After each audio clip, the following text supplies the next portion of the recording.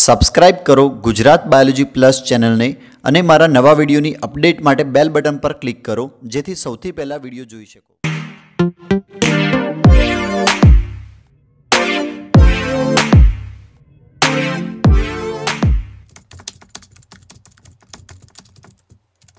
હું છું મનીષ મેવાડા. તો મિત્રો, ફરી એકવાર આપણે જે ચેપ્ટર ભણી રહ્યા હતા, આનુવંશિકતાનો આણવીય આધાર એની અંદર એક સરસ મજાના નવા ટોપિકની આજે આપણે વાત કરીશું મિત્રો.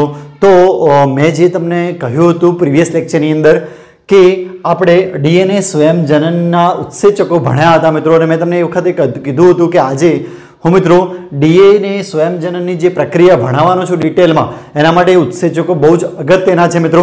તો, આ પ્રક્રિયા ભણતા પહેલાં મિત્રો તમને ઉત્સેચકો વિશે ખબર હોવી જોઈએ ડિટેલમાં.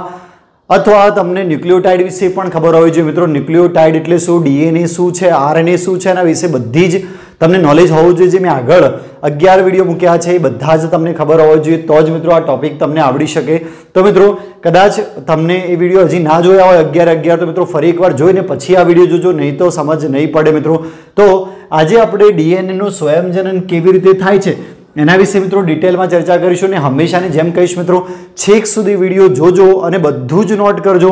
હું અહીંયા જેટલું બોલું છું, જેટલું લખું છું, બધું નોટ કરજો મિત્રો. હંડ્રેડ એન્ડ ટેન પર્સન્ટ તમારા નીટ માટે ફાયદાકારક રહેશે મિત્રો. તમારા બધા જ રેફરન્સ બુકના પ્રશ્નો મિત્રો આના અંદર આવી જશે હંડ્રેડ પર્સન્ટ મિત્રો. તો એટલા માટે કહું છું, છેક સુધી વીડિયો જોજો. તો આજે આપણે ડીએનએ સ્વયંજનન ડિટેલમાં ભણવાનું છે, પણ એના પહેલાં એક ઓવરવ્યૂ આપી દઉં કે કેવી રીતે એક્ઝેક્ટલી ડીએનએ સ્વયંજનન થાય છે અને પછી આપણે ડિટેલમાં સમજીએ. તો સિમ્પલ, તમને ખબર છે મિત્રો કે ડીએનએમાં બે શૃંખલાઓ હોય છે આ રીતે. હું તમને એક ઓવરવ્યૂ પહેલાં આપી દઉં છું મિત્રો. અને પછી આપણે ડિટેલમાં સમજીએ છીએ આ મિત્રો ડીએનએની ડબલ શૃંખલા હોય છે. અને થાય છે શું મિત્રો? ડીએનએ સ્વયંજનનમાં એક્ઝેક્ટલી શું થાય છે? સ્વયંજનન એટલે કે પોતાની જાતે જ એ જનન પામે છે, એટલે કે એકમાંથી બે કોપીઝ બનાવે છે. એના જેવી સેમ ટુ સેમ મેં તમને પ્રીવિયસ લેક્ચરની અંદર સમજાવ્યું છે કે કેમ એવું ડબલ થવું પડે છે મિત્રો ડીએનએને કારણ કે કોષ વિભાજન થાય તો મિત્રો એનું કોષ મતલબ એને નિયંત્રણ કરવા માટે કોષ કેન્દ્રમાં ડીએનએ હોય છે. તો એ કોષ કેન્દ્રનું ડીએનએ વિભાજન થઈ જાય છે કારણ કે કોષ એ જ્યારે વૃદ્ધિ પામે છે ત્યારે નિયંત્રણ ખોરવાઈ જાય છે. એટલા માટે કોષને વિભાજન થવું પડે છે. સાથે સાથે આ ડીએનએ પણ ડબલ થાય છે. એટલે કે સ્વયંજનન થાય છે. તો આપણે એક સમજી લઈએ. ફરીથી કહું છું, આવું ડીએનએ હોય છે મિત્રો. ડબલ હેલેક્સ ડીએનએ હોય છે. થાય છે શું મિત્રો? એકદમ સિમ્પલ મેનરમાં સમજાવું છું. ઓવરવ્યૂ પછી ડિટેલમાં સમજીએ આપણે કે આ બંને શૃંખલાઓ મિત્રો જે આ બંને શૃંખલાઓ હોય છે, એ અલગ પડે છે. આ રીતે મિત્રો તમે જોઈ શકો છો, આ બંને શૃંખલાઓ અલગ પડે છે અને વચ્ચેના હાઇડ્રોજન બંધ છે, તૂટી જાય છે મિત્રો. ઉત્સેચક દ્વારા આપણે ડિટેલમાં સમજીએ છીએ શું થાય છે એક્ઝેક્ટલી તો આ રીતે બંને શૃંખલાઓ અલગ પડે છે મિત્રો. અને આ જે છૂટી પડેલી શૃંખલાઓ છે, પિતૃ શૃંખલા તરીકે વર્તશે મિત્રો અહીંયા યાદ રાખજો. હું અહીંયા લખું છું કે આને મિત્રો પિતૃ શૃંખલા કહેવાશે. આ બંને પિતૃ શૃંખલા તરીકે વર્તે છે મિત્રો. યાદ રાખજો, પિતૃ શૃંખલા. રાઈટ આપણે ઇન ફ્યુચર ડિટેલમાં ભણીએ છીએ મિત્રો. પેરેન્ટ સ્ટ્રેન કહીશું આપણે એને, ફરીથી કહું છું. પિતૃ શૃંખલા કહીશું અથવા ટેમ્પલેટ પણ આપણે કહીશું. મિત્રો બીજો વર્ડ છે કદાચ તમારા ચોપડીની અંદર આપેલો હોય તો ટેમ્પલેટ મિત્રો અને ટેમ્પલેટ શૃંખલા પણ કહીશું. ફરીથી કહું છું, પિતૃ શૃંખલા અથવા એને ટેમ્પલેટ શૃંખલા કહીશું. કેમ મિત્રો? પિતૃ શૃંખલા કીધું મેં તમને. કારણ કે મિત્રો, આના આધારથી નવી શૃંખલા બનવાની છે.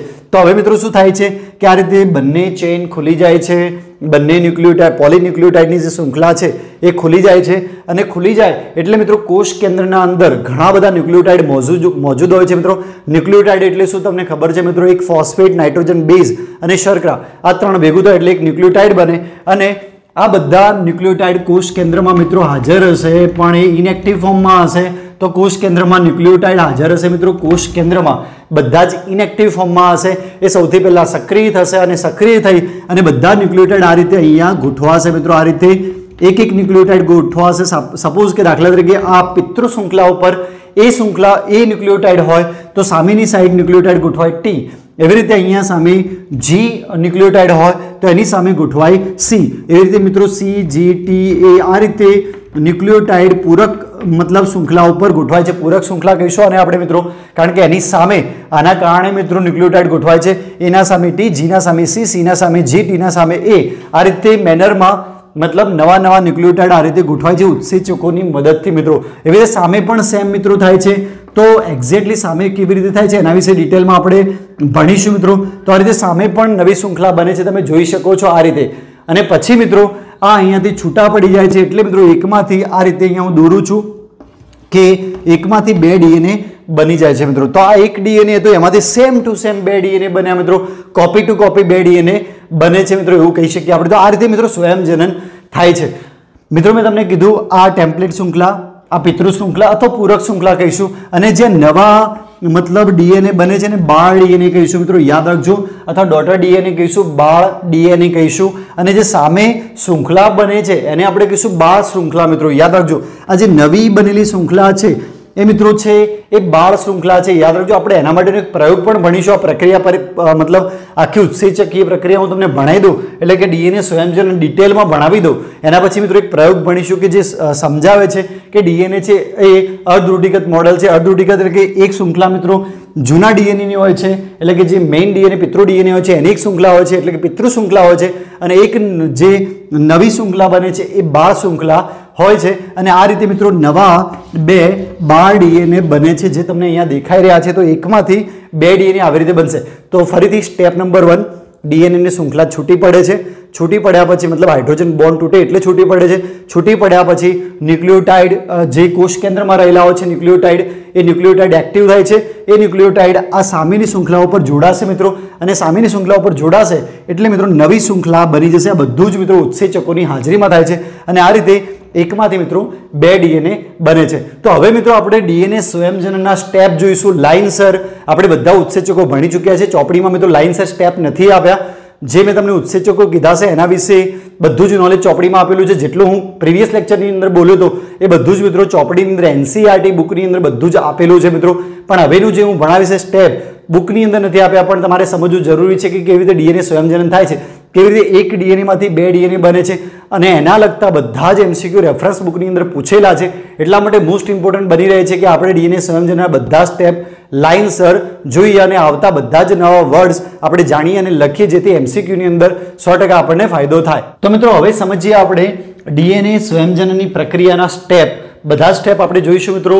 આજે આખો વીડિયો મિત્રો પૂરો નહીં થાય. સ્વયંજનના આખું સ્ટેપ આજે પૂરા નહીં થાય. કારણ કે મિત્રો, વીડિયો પછી લોંગ બની જશે અને મિત્રો, તમને પણ મજા નહીં આવે એટલે આપણે આજે બે સ્ટેપ જોઈશું મિત્રો ડીએનએ સંયોજનના બે સ્ટેપ અને આવતા બીજા પાર્ટ ટુની અંદર. ડીએનએ સંયોજન પ્રક્રિયા પાર્ટ ટુની અંદર બીજા સ્ટેપ હું તમને સમજાવીશ. તો પહેલું પ્રક્રિયા મિત્રો ડીએનએ સંયોજનમાં શું થાય છે? એકચ્યુઅલી બધું એક સાથે થાય છે મિત્રો, પણ આપણે સ્ટેપ બાય સ્ટેપ સમજીશું, જેથી આપણને સરળ પડે. તો ડીએનએ સંયોજનમાં પહેલું શું થાય છે મિત્રો? ન્યુક્લિયોટાઇડનું સક્રિયકરણ. તો મિત્રો અહીંયા મેં ડીએનએ દોરેલું છે અને તમને ખબર છે ડીએનએ પ્રતિ સમાંતર હોય છે મિત્રો. આ રીતે five prime to three prime અને three prime to five prime મિત્રો. તો આ ડીએનએની સામે મિત્રો નવા ન્યુક્લિયોટાઇડ ગોઠવાના, ગોઠવવાના છે મિત્રો. અહીંયા નવા ન્યુક્લિયોટાઇડ આવશે. અહીંયા પણ નવા ન્યુક્લિયોટાઇડ આવશે. તો આ ન્યુક્લિયોટાઇડ મિત્રો મોનોફોસ્ફેટ સ્વરૂપે હોય છે. જ્યારે આવે છે ત્યારે મિત્રો વાત કરું છું તમે ભણ્યા હશો કે એક મેં તમને ભણાવ્યું છે એક ન્યુક્લિયોટાઇડની અંદર મિત્રો કેવું હોય છે કે એક ફોસ્ફેટ હોય છે. એક શર્કરા હોય છે અને એક નાઇટ્રોજન બેઝ હોય છે મિત્રો. તો એકચ્યુઅલી અહીંયા ન્યુક્લિયોટાઇડ ગોઠવવા માટે એની અંદર થોડીક એનર્જી અને થોડાક બોન્ડ ફોર્મેશન માટે એનર્જી હોવી જોઈએ મિત્રો મિત્રો, એટલે એ જે મોનોફોસ્ફેટ જે રહેલા છે મોનોફોસ્ફેટ ન્યુક્લિયોટાઇડ છે, એ સૌથી પહેલાં અહીંયા ગોઠવતા પહેલાં મિત્રો એ સક્રિયકરણ થવા જરૂરી છે. જે નિષ્ક્રિયપણે મિત્રો કોષ કેન્દ્રમાં આવેલા હોય છે. દાખલા તરીકે આ કોષ છે અને કોષ કેન્દ્રની અંદર આ પ્રક્રિયા થાય છે. મિત્રો, યાદ રાખજો, ડીએનએ સ્વયંજનની પ્રક્રિયા કોષ કેન્દ્રની અંદર થાય છે. અને આ કોષ કેન્દ્રની અંદર આ રીતે ન્યુક્લિયોટાઇડ આવેલા છે, પણ એ બધા ન્યુક્લિયોટાઇડ એ મોનોફોસ્ફેટ સ્વરૂપે હોય છે, મિત્રો. તમને ખબર છે ન્યુક્લિયોટાઇડ ચાર પ્રકારના છે ડીએનએમાં. મિત્રો અહીંયા હું લખું છું, ચારે ચાર પ્રકાર, એ, ટી, જી અને સી. અને બધા જ ન્યુક્લિયોટાઇડ આ બધા જ ન્યુક્લિયોટાઇડ મિત્રો, કોષ કેન્દ્રની અંદર મોનોફોસ્ફેટ સ્વરૂપે રહેલા છે. એટલે કે એએમપી ટીએમપી જીએમપી અને સીએમપી એટલે કે એડિનોસાઇન મોનોફોસ્ફેટ એવી રીતે બધા જ મિત્રો થાઇમિન મોનોફોસ્ફેટ ગ્વાનોસાઇન મોનોફોસ્ફેટ અને સાઇટોસિન મોનોફોસ્ફેટ એટલે કે આ બધા જ મોનોફોસ્ફેટ સ્વરૂપે આ બધા જ ન્યુક્લિયોટાઇડ કોષ કેન્દ્રમાં રહેલા છે. અને આ બધે બધા ન્યુક્લિયોટાઇડ સૌથી પહેલાં સક્રિયકરણ થવા જરૂરી છે. તો ફોસ્ફોરાયલેઝ ઉત્સેચક દ્વારા, મિત્રો યાદ રાખજો, મેં તમને ઉત્સેચક કાલ કહ્યા હતા, જેમાં એક ઉત્સેચક આવતો હતો ફોસ્ફોરાયલેઝ તો અહીંયા હું લખીશ એ ઉત્સેચકનું નામ. કે ફોસ્ફોરાયલેઝ રાયલેઝ ઉત્સેચક દ્વારા, આ ઉત્સેચક દ્વારા મિત્રો સક્રિય થાય છે ફોસ્ફેટ ઉમેરાય છે અને મિત્રો આ ટ્રાયફોસ્ફેટના બને છે મિત્રો. એટલે કે અહીંયા એએમપી હતો એની જગ્યાએ મિત્રો બનશે ATP adenosine triphosphate thymine triphosphate ATTP GTP guanine triphosphate અને સાઇટોસિન ટ્રાઇફોસ્ફેટ તો આ રીતે મિત્રો હવે સક્રિય થઈ ચૂક્યા છે આ બધા જ ન્યુક્લિયોટાઇડ આ ન્યુક્લિયોટાઇડ આ અને આ. આ બધા મતલબ ન્યુક્લિયોટાઇડ સક્રિય થઈ ચૂક્યા છે અને હવે સક્રિય થઈ ચૂક્યા છે એટલે અહીંયા જોડાવા મિત્રો તૈયાર છે.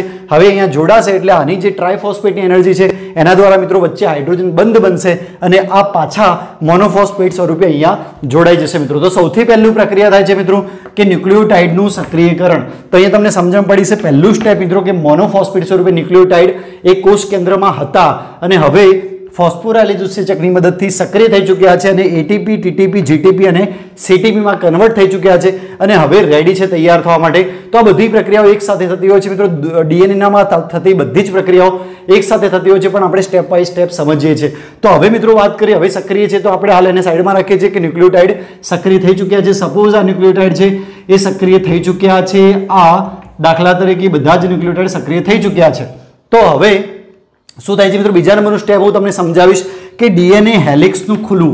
એટલે કે આ જે ડીએનએ હેલિક્સ છે, તમને દેખાય છે, હું કુંતલમાં છે મિત્રો, મેં તમને કાલે પણ સમજાવ્યું હતું. આ કુંતલમાં ડીએનએ છે. એને મિત્રો જો નવા ન્યુક્લિયોટાઇડ અહીંયા ગોઠવવા હશે, તો એને ખોલવું પડશે મિત્રો. ડીએનએની આખી ચેઇન છે ખોલવી પડશે. તો એ ખોલવા માટે મિત્રો એક ઉત્સેચક બહુ અગત્યનો ભાગ ભજવે છે મિત્રો. તો એકચ્યુઅલી આ ડીએનએ હેલિક્સનું ખુલવા એના અંદર આપણે ત્રણ સ્ટેપનો સમાવેશ કરીશું. તો મિત્રો પહેલાં ક્યાંથી શરૂઆત કરવી? ડીએનએ સ્વયંજનની શરૂઆત ક્યાંથી કરવી? તો ડીએનએની અંદર, આખા ડીએનએ અંદર એક સ્થાન એવું હોય છે મિત્રો, એક એવી સિક્વન્સ હોય છે ઓરિજિન ઓફ રેપ્લિકેશન એટલે કે ડીએનએ સ્વયંજનની ઉત્પત્તિનું સ્થાન. ત્યાંથી મિત્રો ડીએનએ સ્વયંજનની શરૂઆત થાય છે. દાખલા તરીકે ડીએનએ સ્વયંજનનું સ્થાન અહીંયા છે મિત્રો. આપણે સપોઝ આખું એક ડીએનએ છે. એમાં ક્યાંક વચ્ચે ડીએનએ સ્વયંજનની ઉત્પત્તિનું સ્થાન છે. તો એક્ઝેક્ટ વચ્ચે એ સ્થાનેથી મિત્રો ડીએનએ સ્વયંજન બંને બાજુ મિત્રો સ્ટાર્ટ થશે અને બંને બાજુ નવી શૃંખલાઓ બનવાની મતલબ શરૂઆત થશે. મિત્રો, તો એકચ્યુઅલી ડીએનએ સ્વયંજનની ઉત્પત્તિ પહેલું સ્થાન છે, તો ઓળખ પદ્ધતિ થશે પહેલા. મિત્રો, યાદ રાખજો કે સ્વયંજનની ઉત્પત્તિનું સ્થાન ઓળખવું. સૌથી પહેલા, મિત્રો, શું થશે? કે ડીએનએનું ઓળખાશે, સ્વયંજનની ઉત્પત્તિનું સ્થાન. અને એના ત્યાંથી, મિત્રો, ડીએનએ છે એ હેલિકેજ ઉત્સેચકની મદદથી. આ હેલિકેજ ઉત્સેચક છે એ હેલિકેજ ઉત્સેચકની મદદથી આ ડીએનએ છે એ તૂટે છે. એટલે કે વચ્ચે હાઇડ્રોજન બંધ તૂટે છે. તો આ રીતે જુઓ કે આ હાઇડ્રોજન બંધતા અહીંયા મિત્રો હેલિકેજ ઉત્સેચક આવશે અને આ હેલિકેજ ઉત્સેચક છે એ હાઇડ્રોજન બંધને તોડે છે. આ રીતે મિત્રો જો આ હેલિકેજ ઉત્સેચક મેં લખેલો છે, અહીંયા હું લખી કાઢું છું મિત્રો. હેલિકેજ ઉત્સેચક. તો મિત્રો એકચ્યુઅલી બે પ્રકારના ડીએનએ છે. તમને ખબર છે કે લિનિયર ડીએનએ, એટલે કે આ રીતે લિનિયર ડીએનએ છે અને બીજું મિત્રો ગોળાકાર ડીએનએ પણ હોય છે મિત્રો આ રીતે. તમે જોઈ શકો છો, આવું ગોળાકાર ડીએનએ પણ હોય છે મિત્રો. તો આ લિનિયર ડીએનએની અંદર જો આવી રીતે તૂટે છે મિત્રો, તો આ રીતે જે ભાગ પહોળો થાય છે, ચીપિયા જેવો દેખાય છે, જેને આપણે સ્વયંજનન ચીપિયો કહીશું. મિત્રો, હું બે વર્ડ કહીશ જે બહુ ઇમ્પોર્ટન્ટ છે, સ્વયંજનન ચીપિયો. તો આવી રીતે ખુલશે મિત્રો લિનિયર ડીએનએની અંદર, તો એને આપણે સ્વયંજનન ચીપિયો કહીશું.